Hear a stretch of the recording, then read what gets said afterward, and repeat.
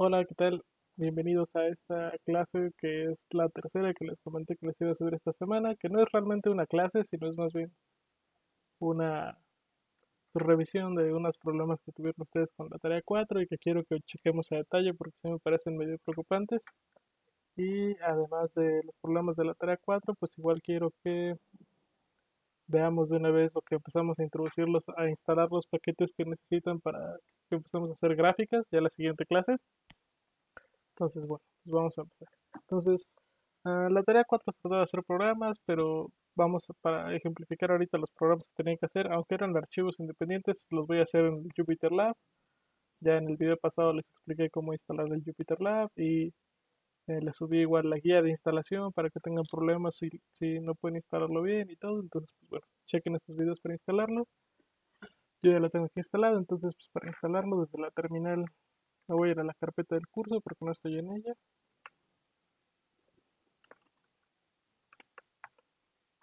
Entonces estoy aquí en la carpeta del curso, en mi terminal, y hago Jupyter Lab. Y ya. Entro, doy Enter, se va a tardar un ratito porque tarda mucho en abrir. Y ya, me abro un navegador y estoy aquí dentro de Jupyter Lab. Entonces, pues ya estoy aquí, ya tengo varias cosas. Déjenme borrar que se ve aquí.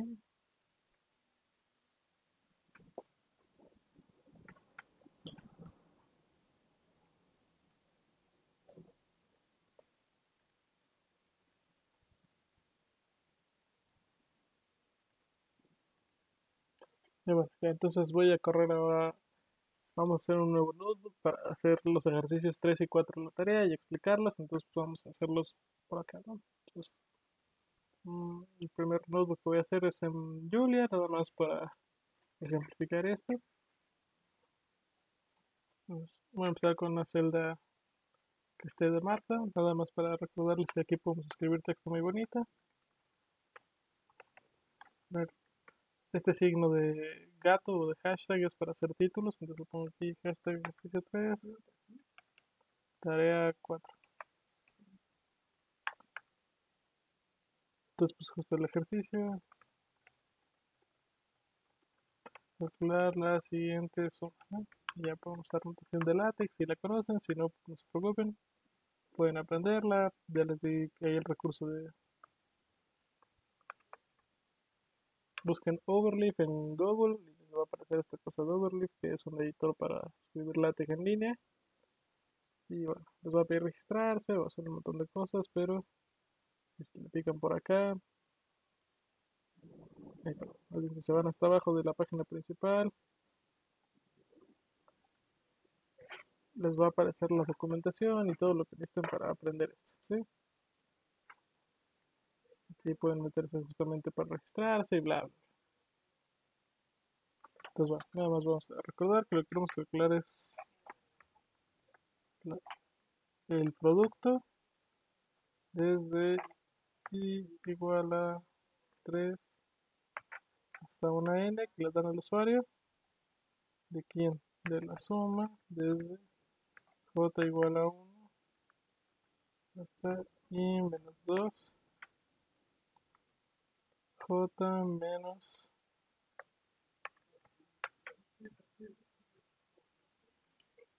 tres cuartos al j más, perdón.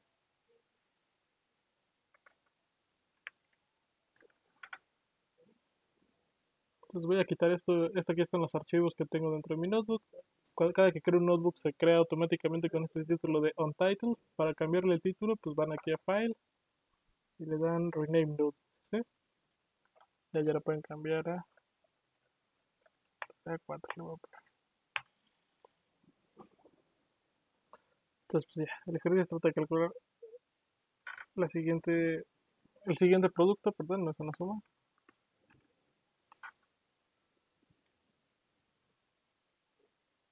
Pues ya, entonces. Eh, aquí el problema que tuvieron muchos es que no pensaron que primero, o sea, justamente tenían que ver la suma,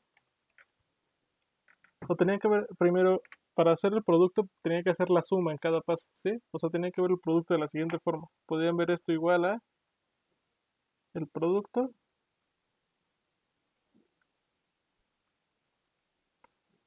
de una cosa que dependía de I, ¿no? De un AI. ¿Y quién era su AI? Pues justamente ahí pues era la suma, es así, es así era la suma. Ahí era la suma desde j igual a 1 hasta i menos 2 de esta cosa que está acá, ¿no? Entonces, lo primero que tenían que hacer justamente era, pues, hacer, o sea, primero tenían que hacer un programa para hacer la suma, para hacer el producto. Entonces vamos a hacerlo paso a paso. Nuevamente definimos prod igual a 1 porque es la variable con la que vamos a empezar. Bueno, primero pedimos al usuario que nos dé la n, ¿no? Entonces, que nos imprima el programa, dame el valor de n, y se lo vamos a asignar pues, justamente a n, igual a parse de int64, porque estamos en Julia, de readline, ¿no? Y luego for in range desde 1 hasta, perdón, desde 3, que es donde decíamos, hasta n, ahí es donde vamos a calcular el producto, ¿no? Entonces aquí definimos producto igual a 1, que es donde vamos a ir guardando lo que hacemos. Dentro del for tenemos que poner estas palabras de global prod. Y ya, dentro de eso nos metemos acá. Entonces, Aquí ya estamos dentro del for que vamos a iterar y aquí lo que debemos hacer es producto es igual a producto por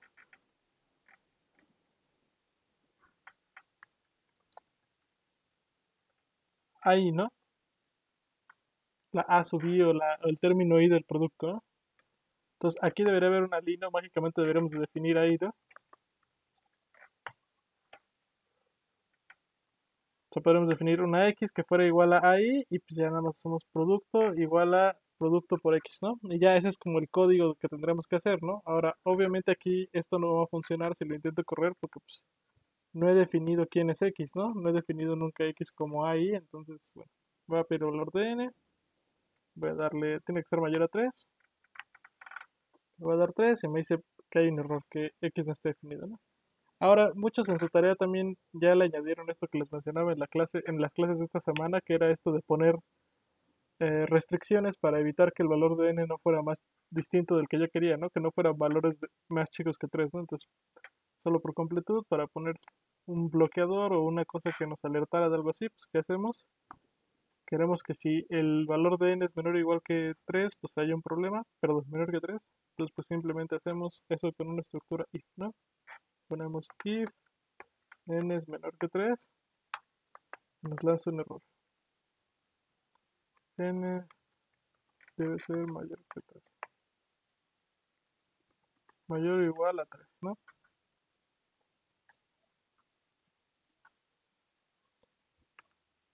y pues cerramos ese if con un end acuérdense que también porque se les olvida mucho que en Julia hay que cerrar todos los ifs con ends ¿sí? Y bueno, ya, ahí está el código, lo vuelvo a correr. Si le doy, por ejemplo, el 2, me manda el, error. Si le doy el 4, que está bien, no me manda este error, pero me sigue mandando un error, ¿no? Voy a cerrar esto también, ya que no necesito Si le pongo el 4, llega hasta esta línea, que es justo en el in3, el 10. Aquí no se ven las líneas, perdón. Tengo que picarle aquí en view y darle show line numbers. Ahí está, ¿no? Entonces cuando pasa eso, pues me dice que justamente en la línea 10 aquí hay un error porque x no está definido. ¿sí? Entonces, esta es la fórmula para hacer el producto, ¿sí? Nada más tenemos que ahora que definir quién, quién va a ser x, ¿no? x tiene que ser el i, ¿y quién es el i? Esta suma que está acá. Entonces, para que x tenga el valor de esta suma, pues hay que hacer la operación de, de encontrar la suma, ¿no? Entonces vamos a definir x igual a 0. Vamos a poner este comentario aquí arriba. Definimos x igual a 0. Déjame intentar aumentar la fuente de esto, pues si tienen algún problema para verlo.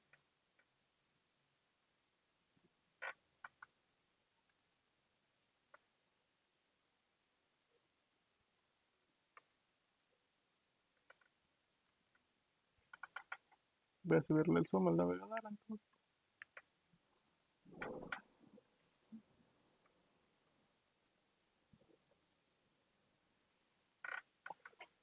Entonces, a ver, ahora quiero calcular x, ¿no? Quiero calcular este ahí, que es esta suma. Entonces aquí hago un x igual a 0, que va a ser la variable donde voy a calcular esta suma. ¿Y qué hago? Pues para calcular la suma tengo que hacer un for.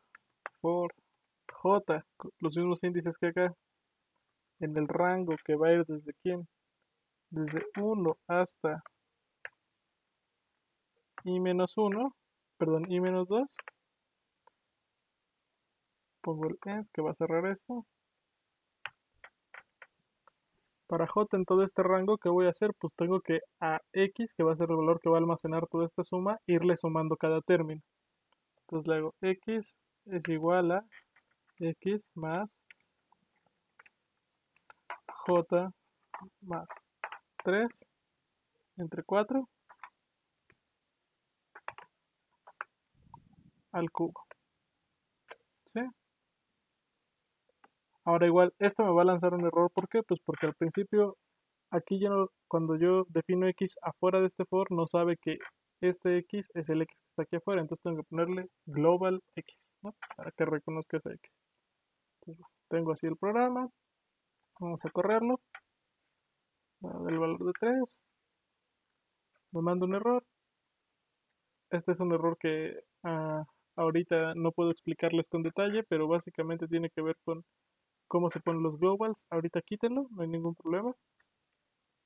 Y ya está.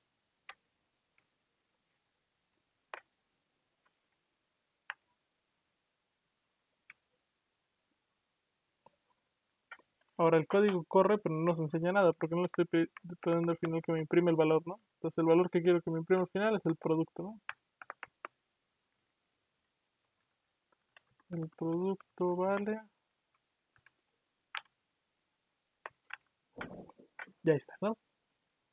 Por ejemplo, los que tenían duda de cuánto valía, pues justo para n igual a 3 daba este valor, para n igual a 4 daba un valor de 140.18, ¿no?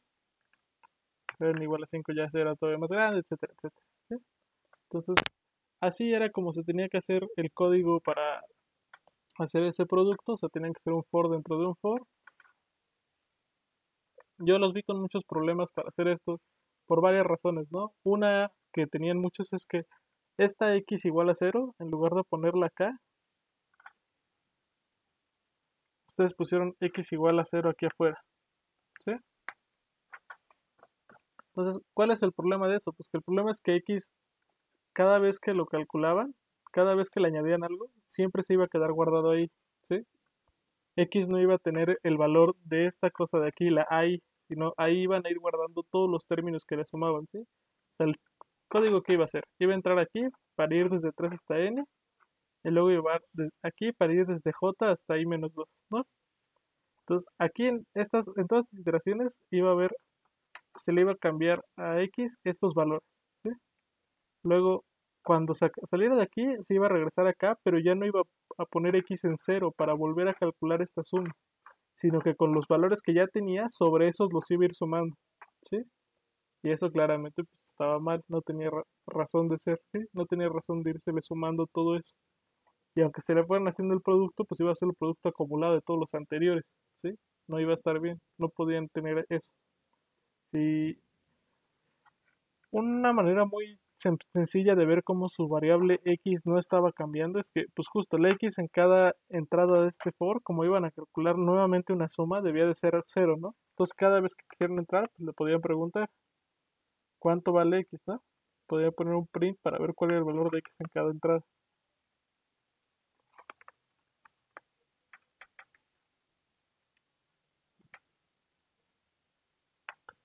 Y puedo ponerle también que les diga cuánto vale y, ¿no? Para que también lo vean. Vamos en la... Término i, y igual a... X imprime. Entonces, a ver, si lo hacemos bien, ¿qué pasaba? Aquí tiene el valor inicial de x, ¿no? Entonces aquí, si dejamos el x igual a 0 aquí, pues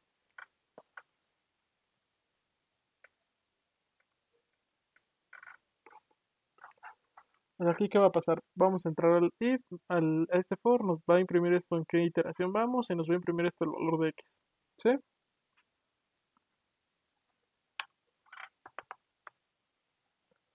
Entonces aquí vamos a pedirle x tiene, vamos a pedirle que después de que, aquí nos va a decir cuánto vale x en esta parte, después debería calcular x como esta suma que está aquí, como este ahí, y nos va a decir, no, pues x tiene tal valor inicial. Vamos, si quieren, a cambiarle la variable, en lugar de ponerle x, vamos a ponerle el a ¿no?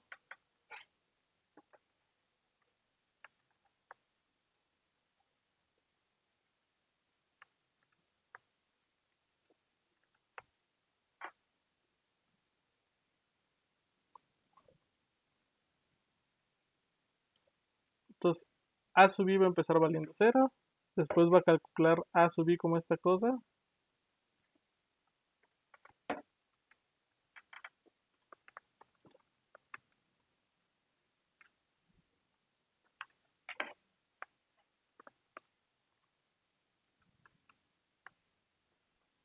Y aquí al final nos a decir el valor del producto, ¿no?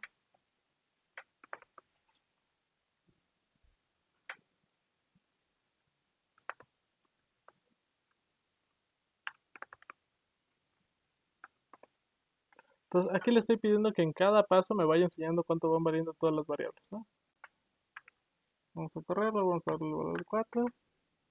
Que manda un error, es porque no cambié algo de x. Aquí debí de haber actualizado prod con, no con x, sino con a subir, que es el nuevo nombre que le di a x, digamos. Aquí voy a quitar el comentario también. ¿Cuál es el valor de n? Pues vamos a darle 4. Entonces nos terminó ahí, ¿no? Vamos en la primera iteración, el for desde 3 hasta n que es 4. Entonces voy en 3 y 4. Entonces en el primero, ahí empieza valiendo 0. Luego tiene el valor final de... Ay, perdón, se me olvidó aquí pedirle que se saltara la línea, por eso se ve así de feo. Entonces a ver. Ahí tiene el valor inicial 0, ahí tiene el valor final, ahí. Es que no estoy pidiendo, estoy pidiendo que me imprima ahí con comillas, también no va a funcionar. Entonces, ahí tiene el valor inicial 0, ahí tiene el valor final y prod vale tanto, ¿no? Luego, a ver, y para el siguiente término, it es igual a 4, ahí la suma empieza en 0, al final de la suma vale 26 puntos tantos y producto se actualiza como lo que ya valía por el nuevo término, ¿no? Que es esto. Y así queda. Y pues si se quieren ir más lejos, pueden darle valores grandes a esto para ir viendo cómo se va actualizando en cada valor. ¿sí? Pero bueno, esto nos queda muy claro que si definimos la i en cada entrada, pues calcula bien la suma. Pero veamos, vamos a ver qué pasa si yo saco la i de aquí, ¿no? Ya no la voy a poner como 0 cada que entro aquí, sino de aquí la voy a poner igual a 0, ¿sí? Es el valor de 4. Entonces, sí inicia valiendo 0 y sí finaliza valiendo 5.4 en la primera iteración. Pero en la siguiente, ¿ven cómo no inicia valiendo 0? Inicia valiendo 5, el valor que ya habían guardado, ¿sí? Porque nunca, nunca dijeron que ya era un término nuevo. Lo mantuvieron nuevamente como ya estaba. Entonces va guardando todos los valores cumulativos anteriores. Y eso no está bien. Y obviamente tiene valor final 31 y tantos y vale todo este producto. ¿Sí? Que ven, no es el producto que queremos, lo está haciendo mal porque está iniciando en un valor que no es cero, ¿sí? No está calculando realmente ahí como esta cosa, sino como alguna otra cosa por ahí que ya tenía guardada. Entonces, por eso tenía que poner, como aquí en cada iteración tenía que calcular la suma, en cada iteración su suma tenía que empezar desde cero, ¿sí? Tenía que empezar definiendo ahí como el cero desde acá. Entonces, pues bueno, ese fue un error que vi que muchos tenían, este, se los comenté, a los que no se los comenté, pues está en su programa, entonces probablemente Leo les va a bajar por eso. Entonces, ¿de dónde sabían que tenían que hacer que ahí fuera cero? Pues porque aquí dentro del for lo que tenían que hacer es que dentro de esto tenían que generar esta suma, entonces para generar esta suma siempre iniciamos las sumas en cero, ¿sí? O sea, si en lugar de ahí, pues querían justamente utilizar la palabra suma, su suma tenía que estar definida ya dentro como cero desde un inicio, porque las sumas siempre se inician en cero. ¿sí? Cada que sumamos términos, cada que hagamos estas sumas de término a término, tienen que irlas iniciando en cero siempre.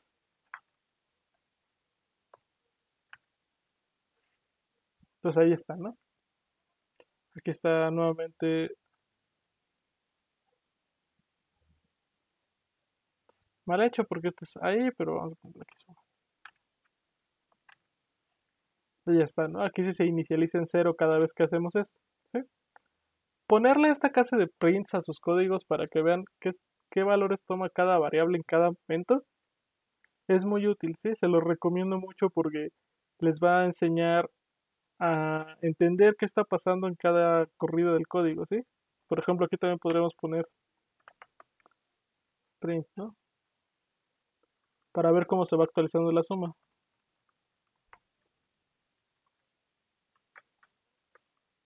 J igual a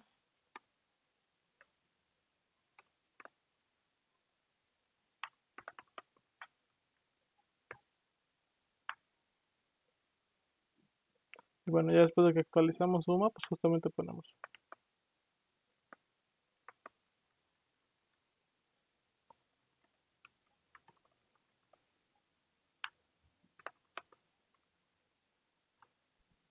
O sea, después de que actualizamos el valor de suma, pues ponemos cómo se va calculando la suma ahí poco a poco, ¿no? Nuevamente hacemos esto, le doy el valor de 4. Entonces, inicia el término i igual a 3, ¿no? Ahí tiene el valor inicial así y empezamos a calcular ahí. Entonces, en la iteración j igual a 1, la suma ahora vale tanto, ¿no? Vamos a tener un espacio aquí, perdón. La suma ahora vale tanto, ¿no? Y, ya, y como solo hay que calcular un término de la suma, pues tiene ese valor final. Y ahí tiene el valor final tanto y el producto vale tanto, ¿no? Entonces ahora vamos el término igual a 4. Ahí tiene el valor inicial 0 en la iteración j igual a 1 la suma vale esto, y en la iteración j igual a 2 la suma ahora vale esto. Y luego ahí tiene el valor final de esto, y lo, multiplica por lo que ya existía, que era el 5 punto tantos, y nos da el 140. ¿sí? Y así se va haciendo. Como les mencionaba, poner todos estos prints les puede ayudar mucho a entender cómo se está haciendo, cómo está corriendo su código y si están calculando las cosas bien, ¿sí? Yo a lo mejor no he hecho mucho énfasis en poner esta clase de cosas para entender si su código se está corriendo bien o cómo están cambiando sus variables porque, pues, por un lado yo estoy muy acostumbrado a no hacerlo, pero es una buena práctica que lo hagan ahorita que están aprendiendo a programar, ¿sí? Y es muy importante que lo hagan también porque cuando su código no está sumando las cosas como ustedes quieren, o sea, cuando aquí hay un error, por ejemplo, si se me olvida actualizar aquí suma, voy a quitarle esta línea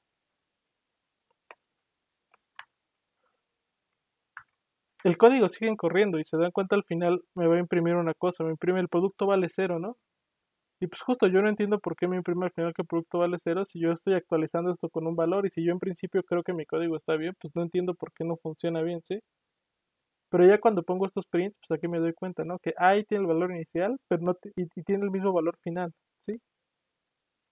Porque la suma siempre está valiendo cero y aquí es cuando me doy cuenta, ah, no estoy actualizando suma, ¿sí? Estoy haciendo algo mal.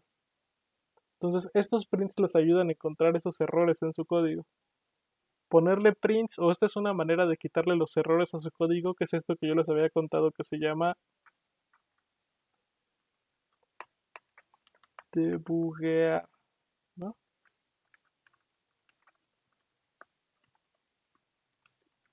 Debuguear es quitarle los errores al código.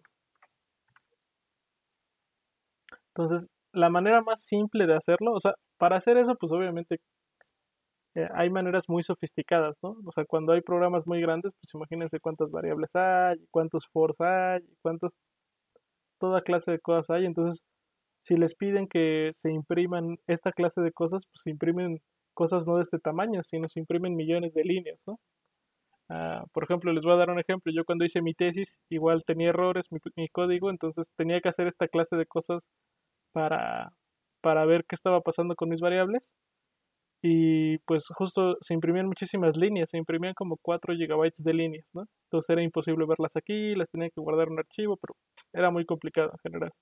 Entonces, hacer esta clase de cosas de poner prints en programitas chiquitos como los que estamos haciendo ahorita es bueno, es una buena práctica y les enseña cómo se tiene que hacerse. Entonces, si tienen dudas sobre si su código está bien, así, antes de que este, pues si están antes de que nos escriban a Leo a mí o, tengan, como que quieran ver realmente qué está pasando, intenten hacer esto, ¿no? De ponerle prints a su código para saber cómo está yendo, ¿no? Y ya que lo tengan bien, pues se los pueden quitar si quieren o pueden nada más dejar volver los comentarios.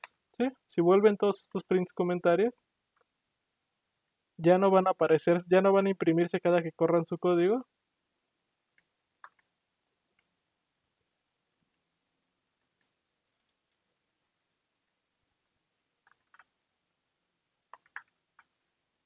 Ay, estos últimos sí los quería, ¿verdad? Porque eran los que eran sobre el valor que yo tenía.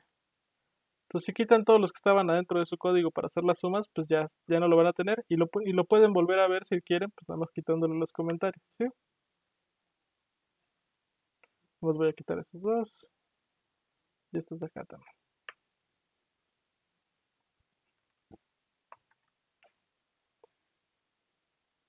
Entonces, pues puede ser útil, ¿no? O sea, también los pueden quitar fácilmente, los pueden poner fácilmente y les puede ayudar mucho a modelar sus cosas. Entonces, bueno, pues eso nada más se los dejo como consejo por si quieren hacerlo, puede ser muy útil. Después lo van a tener que hacer varias veces cuando hagan código más complicado en esta clase y en otras, entonces pues recuerden. Entonces, el otro ejercicio que vi que les causó mucho problema fue el ejercicio 4, ¿no?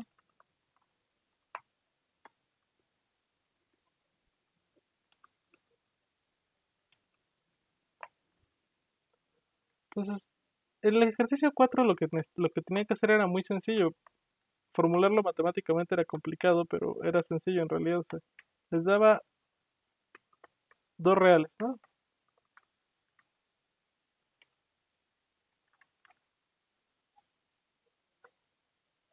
¿Y qué más les daba? Les daba un... Ah, bueno, igual. ¿Y qué más cumplían estos reales? Que justamente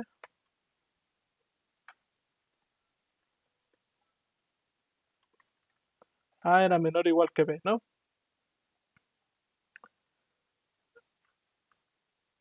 También tenían un real L.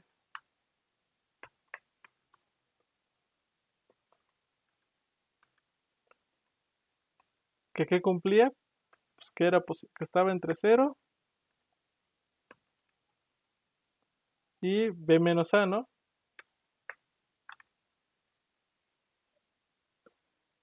Entonces yo les pedía simplemente encontrar todos los números reales que fueran de esta forma. A más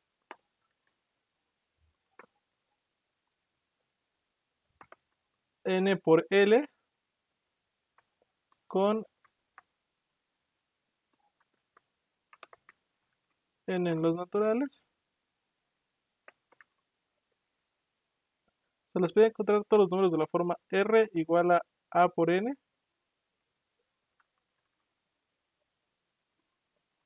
Déjame separar esto más. Todos los R igual a A más N por L con L en los naturales que cumplía que que cumplían que A era menor o igual que R era menor o igual que B. ¿Sí? Entonces, aquí dependiendo de si consideraban si los naturales incluyen el 0 o el 1, no importa. Nada más lo que quería es que pensaran, vamos a hacer ahorita el ejemplo, vamos a ahorita suponer que, por simplicidad, que el 0 está en los naturales, ¿no?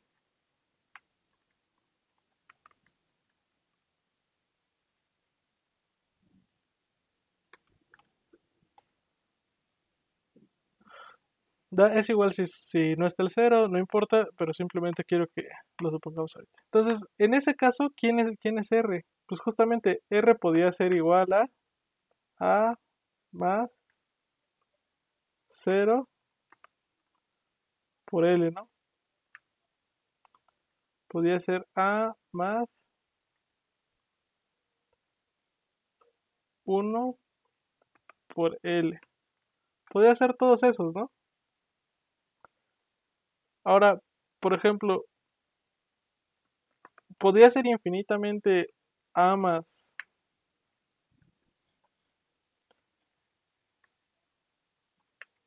A más, no sé, 10 a la 5.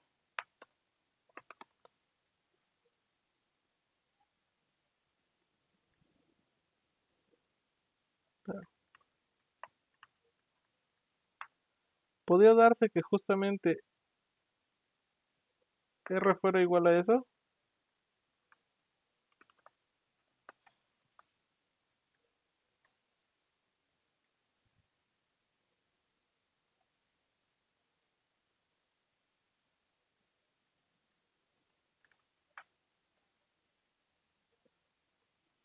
esto es una pregunta. ¿Podría pasar que esto, que él, o sea, R podría ser de, todo, de esta forma para cualquier natural, para cualquier natural súper grande? No. ¿Por qué? Pues porque existía esta condición, ¿sí? Porque la condición de que AR estuviera entre A y B ponía el límite sobre cuánto podía valer N, ¿no? Entonces nuevamente aquí no. N no cualquier valor, ¿sí? Entonces, ustedes, por lo que aprendieron en cálculo, podrían sacar de la desigualdad cuánto podía valer n, ¿no? Si tenían que justamente a tenía que ser menor o igual que a más n por l,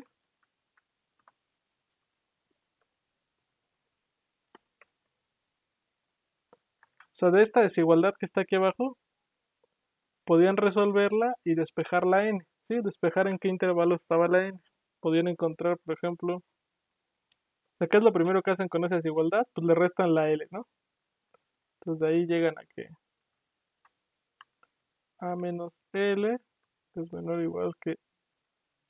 Ay, perdón, le restan la A, ¿no? Entonces llegan de ahí a que 0 es menor o igual que N por L menor o igual que B menos A. ¿sí?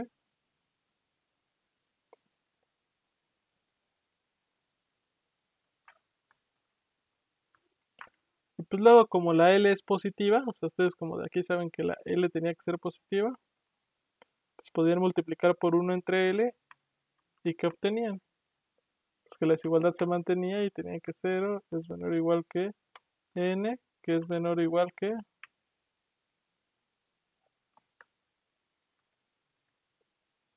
B menos A entre L. ¿Sí? Y ya esto les daba los límites que podía tomar N, ¿no?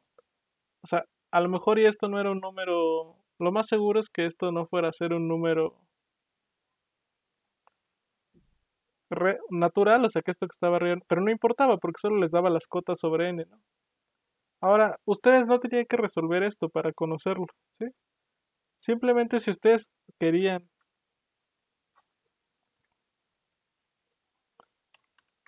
encontrar los límites.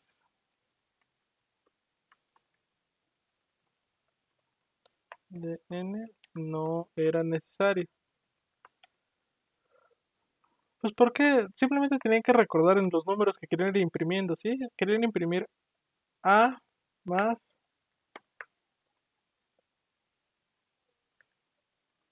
cero por L, ¿no?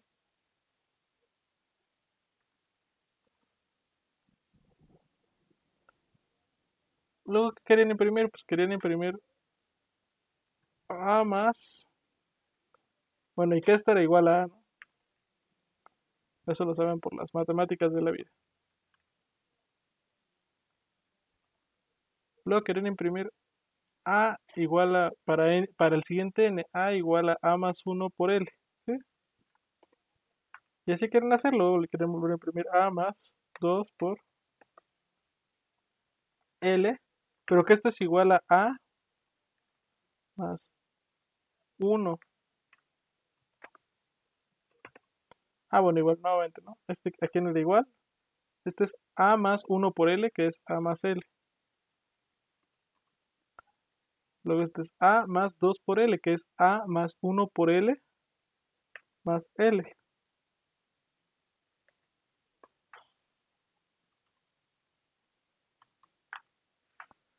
ustedes quieren ir generando todos estos, ¿no?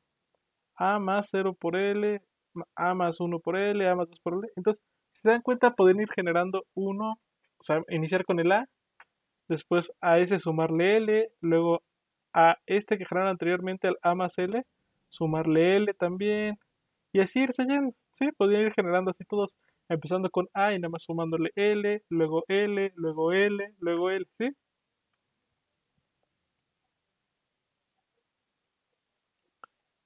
¿Y cuándo iban a parar?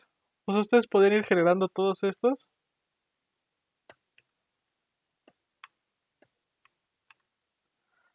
Hasta que llegaran a uno que ya no cumpliera la desigualdad, ¿sí? Podían seguirse con todo eso, pero hasta que llegaran a uno que ya no cumpliera la desigualdad, hasta que llegaran que... O sea, podían irlos generando solamente sumando L, ¿sí? Solo tenían que agarrarse A e irle sumando L, ¿no? Le sumaban L y le sumaban L y ya les generaban todos estos, todos estos de aquí, ¿sí?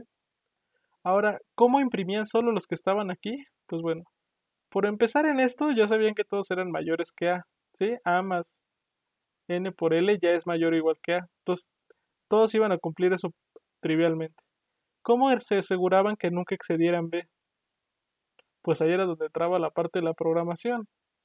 Porque ustedes podían ir haciendo esto de agarrarse un valor, de agarrarse a R igual a e irle sumando L y L y L, hasta que esto se, mientras esto se cumpliera. ¿sí? ¿Y eso cómo se hace? Pues con lo que aquí les menciono, con un ciclo while, ¿sí? Con un ciclo while ustedes iban diciendo, pues con un ciclo while agarra A y vele sumando L y L y L y L un montón de veces, mientras siga siendo menor que B. Entonces esto era muy fácil en realidad, ¿no? Vamos a hacerlo completo. Vamos a hacerlo ahora nosotros para valores fijos de A y B, ¿no? Vamos a poner que A es igual a 0 que b es igual a 1, que l es igual a 0.5, o bueno, más bien 0.09, ¿no? Que cumple con esa propiedad. Entonces veamos, aquí tenemos una A que es menor que B, tenemos a L, tenemos etcétera, ¿no? Entonces, ¿qué hacían? Pues simplemente definían R es igual a y que mientras R fuera menor o igual que B, ¿qué hacían? Pues que, que se les imprimiera R y actualizaban R, ¿no? Bueno, aquí definían R como una cosa global para que pudieran acceder a ella. Y aquí nada más decían pues, que R se igual a R más L. ¿Sí?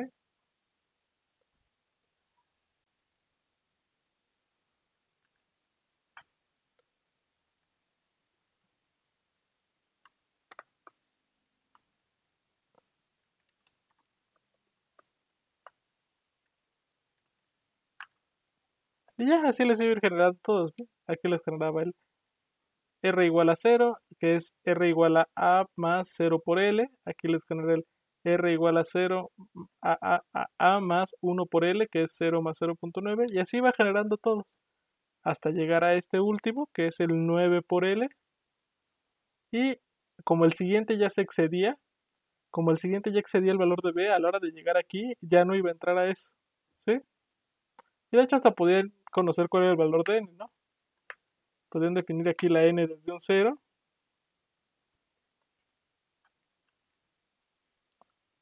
Aquí también díganle que es la n global. El valor de r era s. Y podrían poner pues igual que les imprimir el valor de n.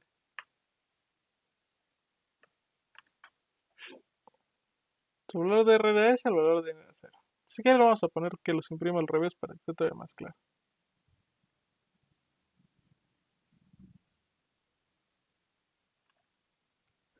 Entonces, n empieza siendo 0, r empieza siendo 0, ¿no? n empieza...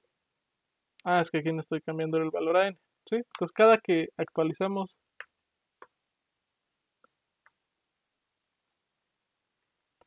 n, cada que pasamos, pues n lo cambiamos. Entonces n empieza siendo 0, r empieza siendo 0. n empieza siendo, n es 1, r se vuelve esto, n es 2, r se vuelve esto. Y así se va yendo. Solamente es cosa de irle sumando a rl. Vamos construyendo r desde el primero, luego el siguiente, luego el siguiente, luego el siguiente, luego el siguiente, etc. ¿Sí? Así vamos haciendo todo. Y era muy fácil, solo había que traducir este problema y pensar un poquito en los números que había que generar en cómo iban a ser estos números de que era el A más 0 por L, el A más 1 por L, el A más 2 por L, e ir así haciendo todos para irlos poniendo así, ¿sí? Y ya, esto era muy fácil. Ahora vamos a darles que otros valores A y a B, ¿no? Vamos a darles 4, 8.5 por ejemplo, que L sea 33 y ya, ¿no? Entonces nuevamente empezamos como a n igual a 0, pues R es 4. Para n igual a 1, R es 4.33. Y así nos vamos yendo un montón hasta que llegamos a n igual a 13 y esto vale 8.29. Y ya así vamos contando todos los que íbamos construyendo de esta forma, ¿sí? Y ni siquiera tenían, por ejemplo, aquí ustedes podían definir a R ni siquiera de esta manera, ¿no? Podían directamente decir, o sea, si, si no les quedaba claro esta idea de que R se iba actualizando en valores de L cada vez, o sea, de que podían ir subiendo, construyendo R subiéndole L, L, L, L, pues lo pueden hacer con la N, que ya les iba contando cuántas veces se cumplía esto, ¿no? R, pues simplemente de la definición.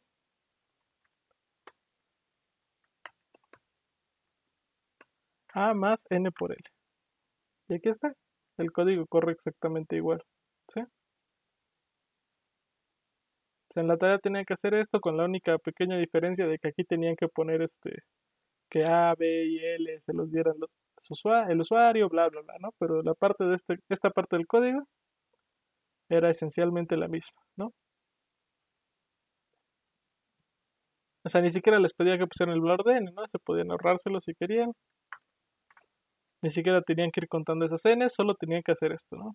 Construían r igual a, que era el valor para cero, y pues ya ahí lo iban haciendo, ¿sí?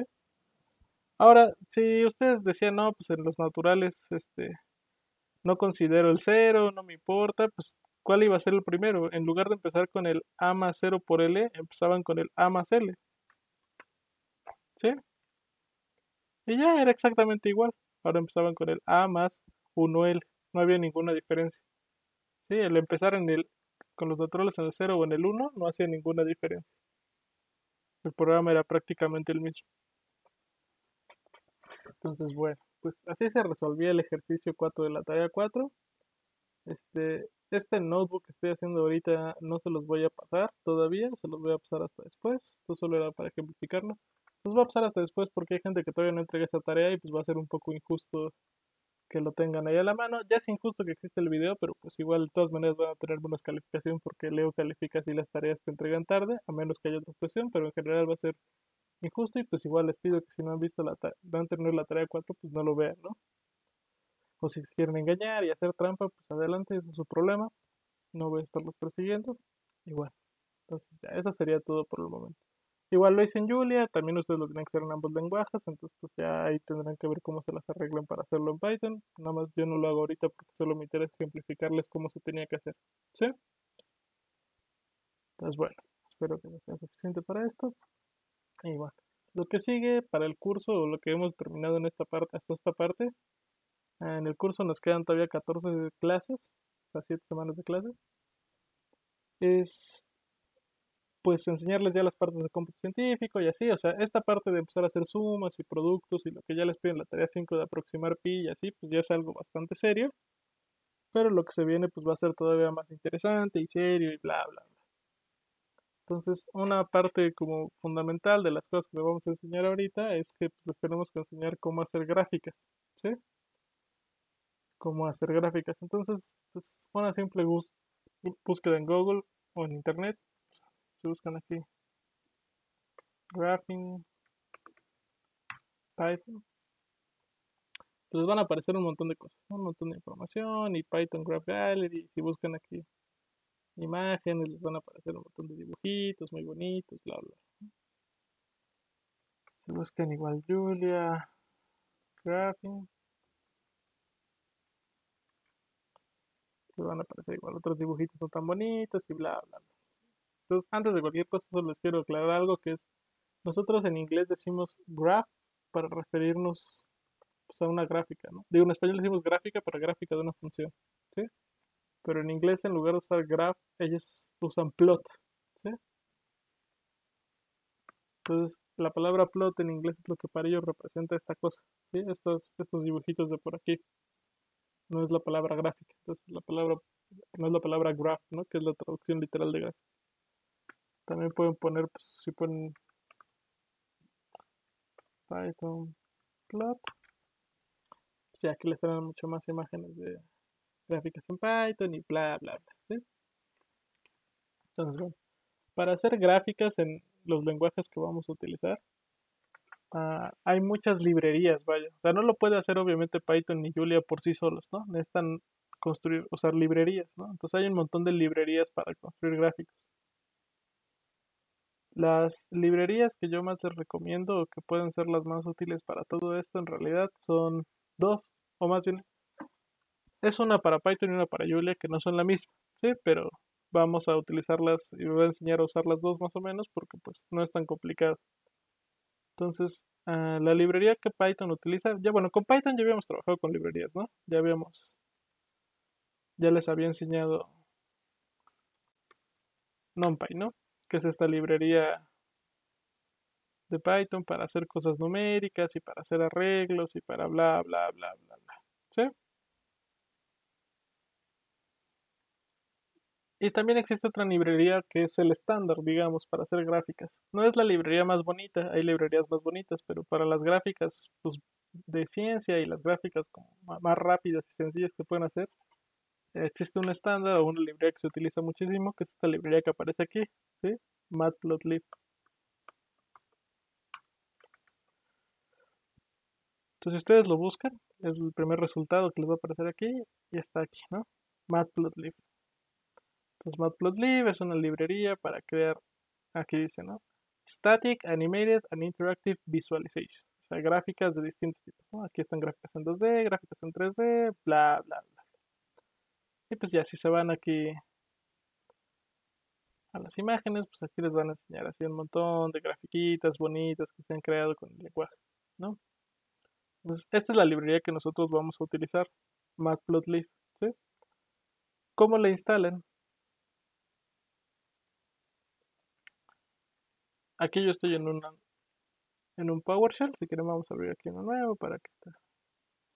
Aquí estoy en un PowerShell, no importa dónde estoy, estoy aquí y ustedes acuérdense que ya les enseñé o en la guía de instalación viene cómo instalar esta cosa que se llama pip, Entonces si ustedes hacen pip help,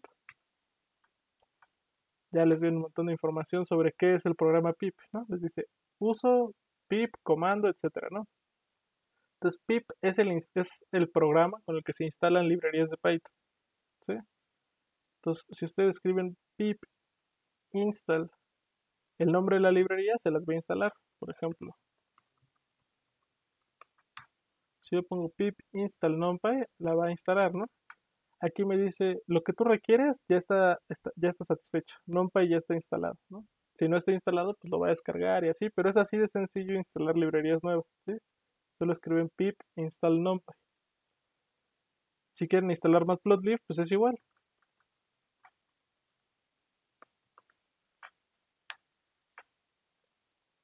Le dan enter.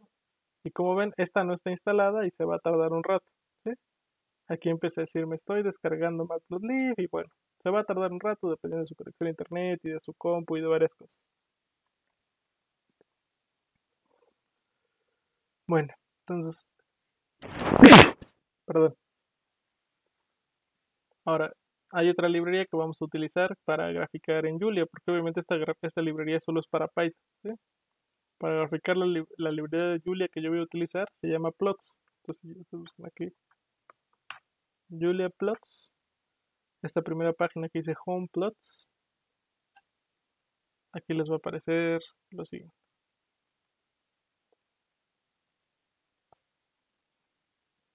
Plots, Powerful Convenience for Visualization in Julia. ¿no? Plots también es una librería que como ven aquí les permite hacer animaciones y dibujos muy bonitos y bla bla bla bla.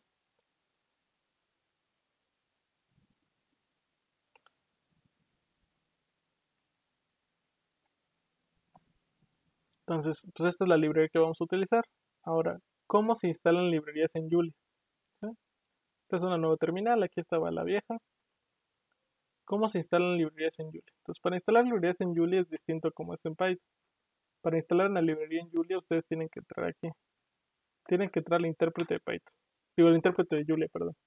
Entonces entran, escriben Julia, les aparece esta ventanita y entran en el intérprete de Julia. Entonces ya desde el video pasado les había comentado que si ustedes escriben aquí en su teclado este carácter, el corchete cuadrado cerrado,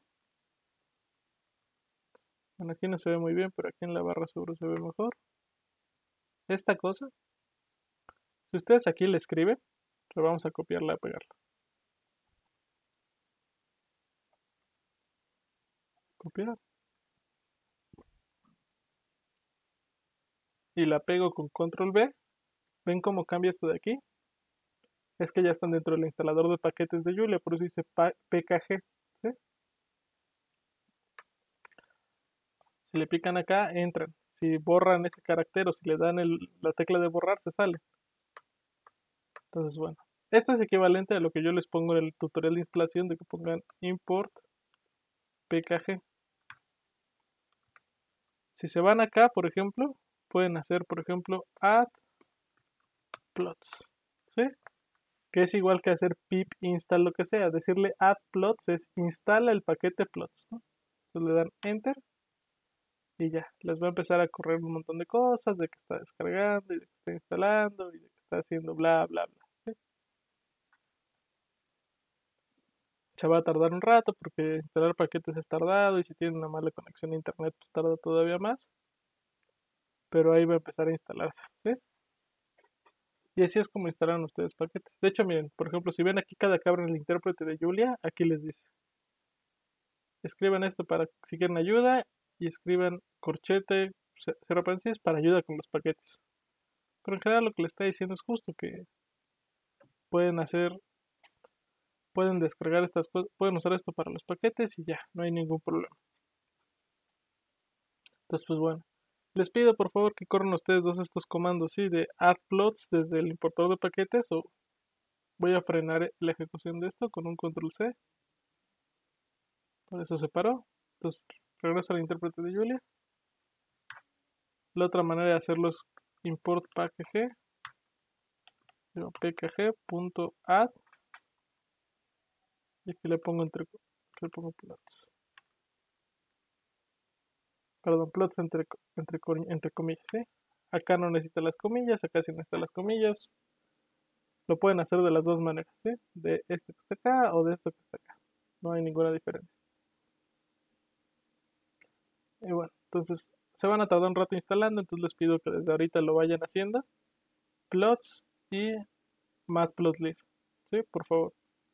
Necesito que instalen ambas y que ya las tengan instaladas porque las clases de la semana, regresando de la Semana Santa, pues ya las vamos a utilizar y pues ya para que no pierdan tiempo en tenerlas instaladas y en que funcionen, por favor encárguense de bajarlas.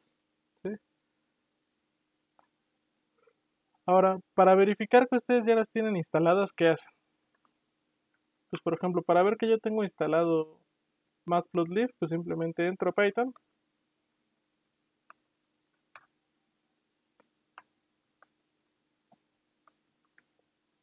Y escribo estas palabras. Import matplotlib.plyplot as plt.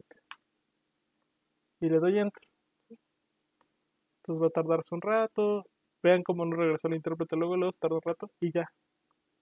Si logran hacer este comando de import y entrar aquí sin que haya ningún problema, quiere decir que ya lo instalaron bien.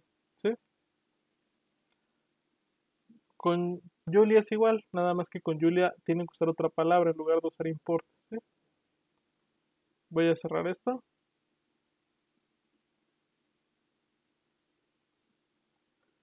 O sea, aquí solo le estaba enseñando cómo, cómo es cómo es instalarlo, yo ya lo tengo instalado. O sea, por ejemplo, para ver qué paquetes tienen instalados en Julia pueden irse aquí al de paquetes y escribir status. Entonces escriben status, van a ver que ya tengo el paquete del Jupyter Notebook y el paquete de plots. ¿sí? ¿Qué es lo equivalente en Python? Pues en Python sálganse del intérprete de Python, regresen a la terminal de Windows y escriban pip list le va a tardar igual rato, pero van a ver que sale toda esta lista, que son todos los paquetes de Python que ya tienen instalados, ¿sí? ¿Por qué les aparecen tantos paquetes? Pues porque cuando instalan Anaconda, Anaconda ya se instala con muchos de estos paquetes para que ustedes puedan trabajar bien. O además, pues también les aparece luego con muchos paquetes para que pues justo tengan... O sea, porque a veces un paquete, por ejemplo, el paquete matplotlib depende de otros paquetes y pues para que esté instalado tiene que bajar otros 20 y bla, bla, bla. Pasan esos problemas de que hay muchos paquetes aquí. Pero bueno, así lo ven. Entonces, para ver que yo ya tengo en Julia bien instalado la librería plots, ahora lo que tengo que hacer es importarla. Y la puedo importar de dos maneras. La puedo importar con import plots. Y en cuanto me dice esto de precompiling o que me aparezca lo que sea, quiere decir que ya la tiene y que ya nada más la está jalando. O puedo utilizar otra cosa. Voy a abrir aquí otro terminal para ejemplificarlo puedo utilizar using plots. Y es lo mismo, utilizar using e import es prácticamente lo mismo. Tiene unas diferencias sutiles que ahorita no voy a aclarar, pero ah, es prácticamente lo mismo. Yo les recomiendo que en Python utilicen import, o sea que en Python si hagan import matplotlib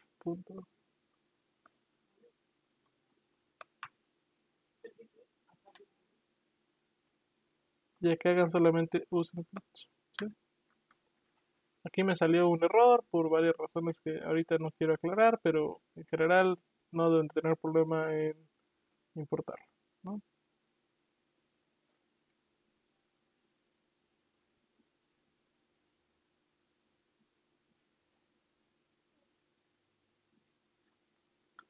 Entonces, bueno, ahí a ustedes no les debe salir este mensaje de error, ni les debe salir nada, a mí me está saliendo porque estoy corriendo los dos al mismo tiempo, pero a ustedes no les debe salir el mensaje de error y deben de poder hacerlo sin ningún problema.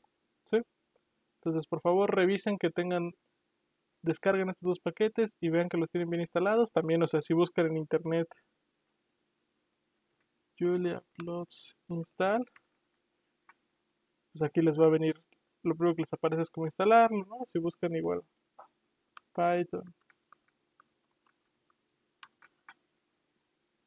Aquí les aparece cómo instalarlo. Entonces también pueden referirse a, aquí está import package, package plots, etcétera, etcétera. Entonces, eh, si ustedes quieren, por favor vayan, instálenlo, no hay ningún problema. Pueden aquí buscar, encontrar ayuda y encontrar cosas que les puedan explicar mejor cómo hacerlo. Y por favor solo verifiquen que lo tengan instalado y corriendo porque la siguiente clase ya lo vamos a utilizar. ¿sí? Pues bueno, esta es toda esta clase. Aquí nos despedimos y nos vemos la siguiente semana. Que tengan unas buenas vacaciones, descansen y nos veremos después.